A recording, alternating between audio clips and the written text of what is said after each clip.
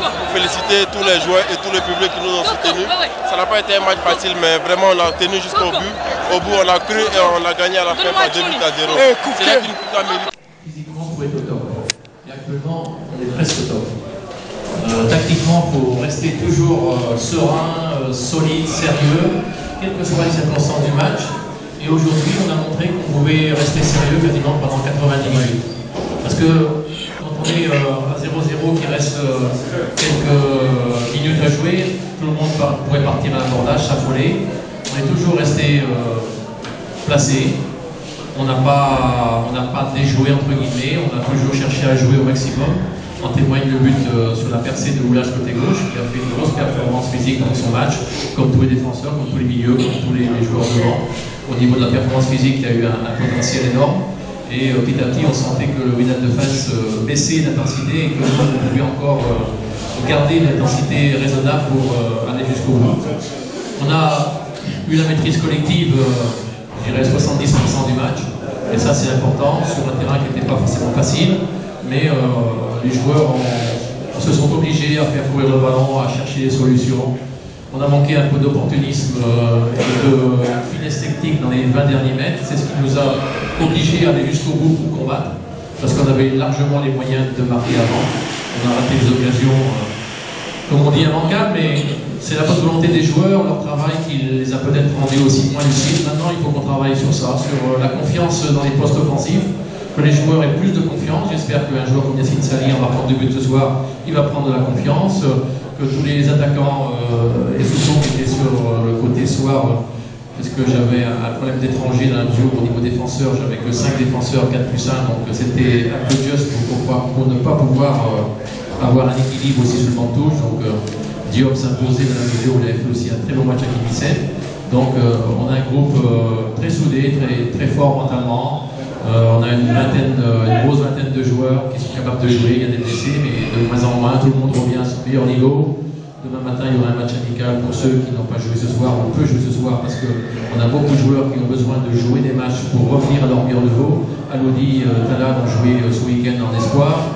Demain, ce sera le, tour de, de de de tous ceux qui ont besoin de jouer des matchs parce qu'il n'y a que les matchs euh, d'entraînement et les matchs amicaux qui permettent à un joueur de revenir à son meilleur niveau. Et donc là, on est sur une bonne trajectoire. Euh, on ne prend pas de but. C'est déjà, euh, on est déjà solide, on est serein. Et donc maintenant, il faut continuer. Bon, Christian.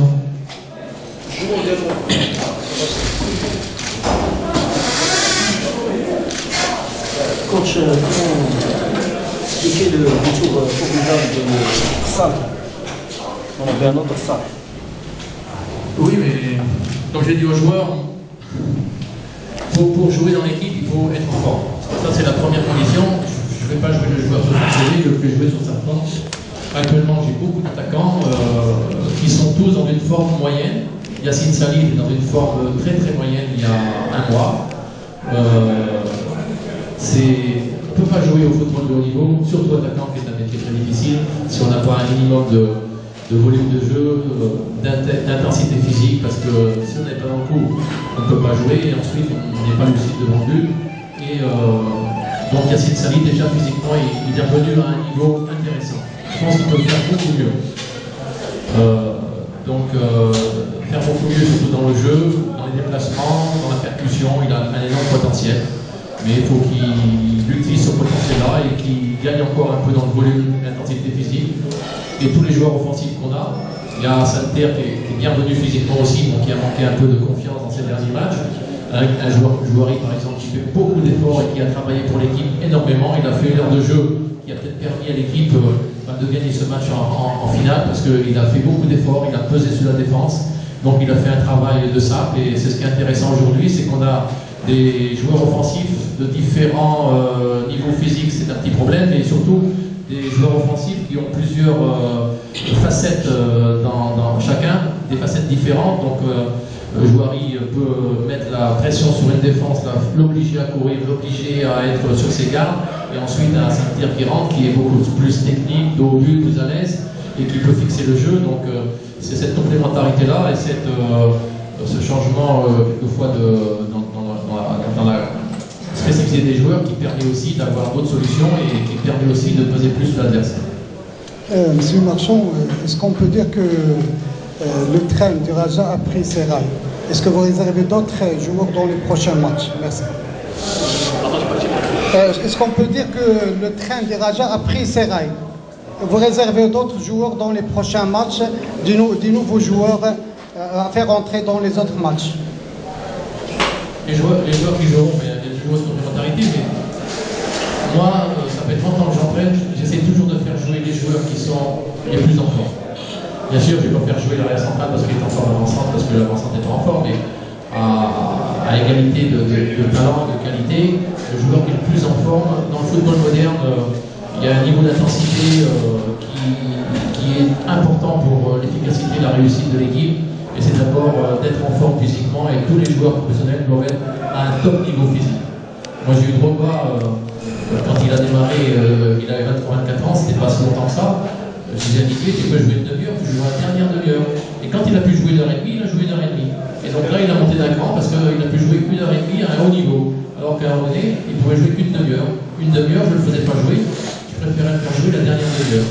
Et actuellement, j'ai des joueurs qui sont encore juste physiquement, comme Esnagi, comme Aït Larif, comme euh, comme euh, qui, peuvent jouer 20 minutes, une demi-heure, mais qui ne peuvent pas jouer un match. Et donc, il faut qu'ils attendent. Pour l'instant, ils le font du bien en rentrant, mais il faut qu'ils attendent, il qu'ils travaillent. Et quand ils pourront jouer une heure et demie, ils joueront une heure et demie ou une heure pour démarrer le match. On a un potentiel offensif très intéressant et avec des joueurs, comme j'ai dit, qui sont euh, différents. Et donc, c'est bien pour la complémentarité. Mais euh, aujourd'hui, devant, il faut faire beaucoup d'efforts, il faut peser. Les défenseurs sont solides. Les, équipes, quelles qu'elles soient, aujourd'hui, le Net de Fès, qui était une équipe très bien organisée, qui était solide physiquement. Disons que le, fait d'avoir pour nous euh, la position du ballon et une maîtrise collective euh, peut-être supérieure sur la durée du match, ça oblige l'équipe adverse à courir et à s'user physiquement. Et quelquefois, les cinq dernières minutes sont dures. Donc là, ils l'ont été pour eux. Tant mieux pour nous, parce qu'un match comme ça peut se terminer sur un 0-0, mais je pense qu'on a mérité de gagner. Et euh, je dis bonne chance euh, à l'entraîneur de, de de Fès pour la suite parce qu'il y a une équipe qui a un potentiel. J'ai regardé ces matchs, ces derniers matchs. Contre le, dernier match, vous avez 3-2. Ensuite, ils avaient fait 0-0 contre Mas. Ils avaient fait 1-1 contre euh, le Phare. Donc à chaque fois, il y avait de la qualité et un bon potentiel. Et donc, bah, je leur bonne chance. Selon la convocation de Sofiane Anoumi. Surtout que Sophia a fait beaucoup de déclarations, il y a beaucoup de, rumeurs. J'espère que vous mettiez fin à cette polémique-là et, préciser les, raisons techniques ou autres de la non-convocation de. Et moi, je ne dis pas les joueurs arabes, je comprends pas l'arabe, je m'en fiche. Hein. Moi, les joueurs, euh, j'aime bien, tous les joueurs, sauf, sauf Je sais que son CV est un grand CV. comme je lui ai dit l'autre jour, ça fait trois ans qu'il n'a pas joué. Et même Zidane, Ronaldo, Messi, s'ils jouent pas pendant 3 ans, c'est difficile pour eux. Donc moi, je ne suis pas là pour faire jouer les CV, je suis, là pour faire jouer les joueurs en forme. Et bien sûr, s'il était au niveau de forme des autres, je ne préfère pas d'un tel talent parce que c'est un grand joueur. Il été un grand joueur. Il faut qu'il redevienne un grand joueur au top de sa forme. C'est pour ça qu'il a, compris maintenant qu'il est des matchs. Donc il est allé jouer un match en espoir. C'est pareil pour Ednarif, hein. c'est pareil pour euh, qui a été blessé, euh, c'est pareil pour Sali qui était aussi euh, depuis un petit moment euh, qui, était coupé du circuit. On, a, beau avoir un grand CV, hein, euh, c'est pas le CV qui joue, hein, c'est le joueur. Donc faut, c'est des joueurs, je connais le golf, c'est des joueurs qui sont passés aussi par le golf. Et quand on joue 2-3 ans dans le golf, c'est pas facile de revenir dans un championnat européen, c'est impossible. D'un championnat marocain, ça devient, de, plus, en plus difficile parce que le rythme du championnat marocain, c'est autre chose que le, championnat du golf. Le championnat du golf, c'est un rythme de 3e ou 4e division française. Donc euh, un bon joueur avec un bon CV, c'est tranquille. Mais quand vient jouer au Maroc ou en Europe, moi j'ai jamais vu vraiment un joueur de golf revenir dans des championnats comme en Tunisie ou comme au Maroc, comme en Algérie ou comme en Europe. J'ai jamais vu un joueur revenir à son meilleur niveau parce que la marche est haute. Monsieur Rosny, soyez la bienvenue à Votre lecture technique c'est le match d'aujourd'hui.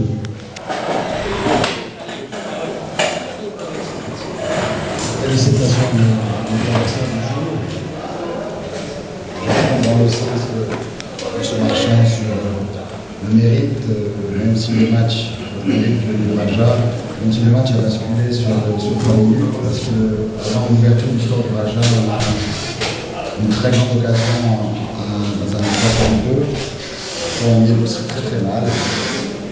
Et puis euh, le garçon, le, petit jeune Youssef se fait prolonger sur l'action qui suit le Raja le geste technique a donné du plaisir, même ce n'était pas, le deuxième but, le du on du plaisir. moi, je n'ai pas de problème de marchand, je n'ai pas un côté d'attaquant, et, moi qui suis un adepte du football offensif, euh, je dois dans un premier temps décomplexer le Voix, qui est un petit club qui, essaie à chaque sortie de, grandir un, petit peu.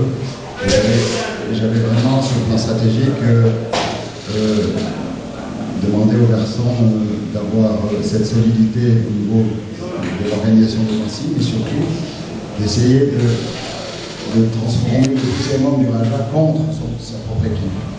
Et euh, on a fait malheureusement pas assez.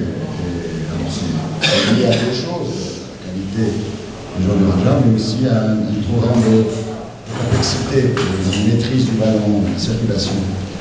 C'est un équilibre à trouver et nous, on ne se prépare pas pour jouer Raja ou pour, pour dire que ça fille à chaque, à chaque rencontre. Euh, mon équipe, euh, je demande les joueurs de déplacer relativement individuellement. J'entends vos questions. Les questions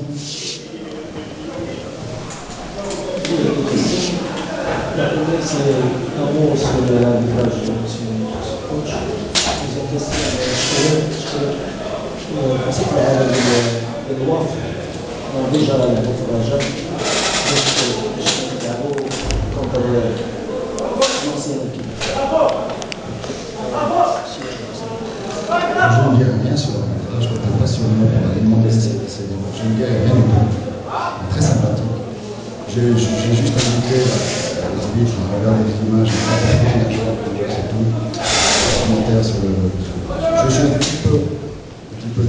pour les garçons qui ont fait beaucoup d'efforts. Je répète, même si sur l'ensemble du match, il y a eu une action au Raja, nous avons une position très belle sur son côté gauche, qui, était un très bon côté. J'avais plutôt un flanc droit animé contre 2007, alors je pense qu'il y a eu des changements dans le de joueurs.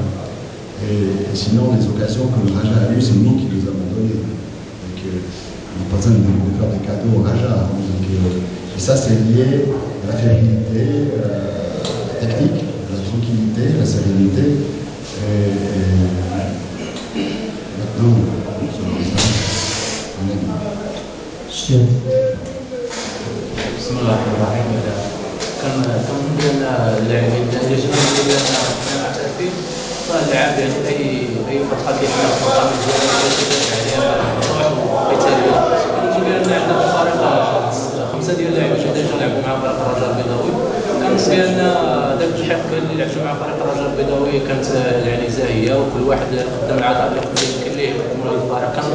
الرجاء البيضاوي كبير بالاسم ديالو ولا بالألقاب ديالو ولا باللاعبين اللي كيلعبوا فيه. كان بان اللاعبين ديال فريق الرياض الفاسي جاوا لمدينه الدار البيضاء باش يحققوا نتيجة إيجابية.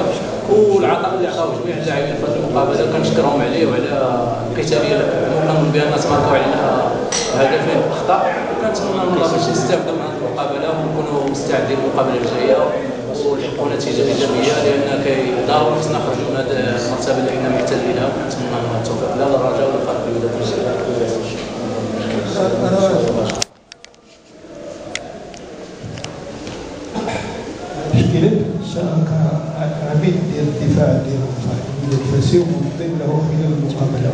كيفاش تفسر يعني هي ديالو في الدقائق الأخيرة بعد الصمود ديال 90 91 دقيقة؟ كنظن بأن بغينا نقدروا باش نحققوا نتيجة إيجابية.